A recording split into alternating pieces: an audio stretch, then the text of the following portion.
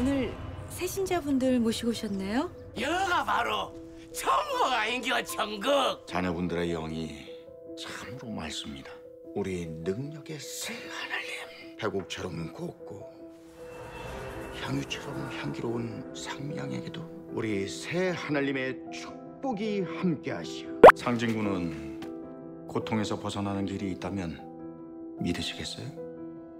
오직 새 하늘님만을 믿고 기도할 때 고통 속에서 구원받을 수 있다고 말씀하세요. 너희들 살면서 구해달라는 말 들어본 적 있나? 내보고 분명히 그랬다. 구해줘라고. 하러 갈래? 요령 때 갈래? 남자는 강하다.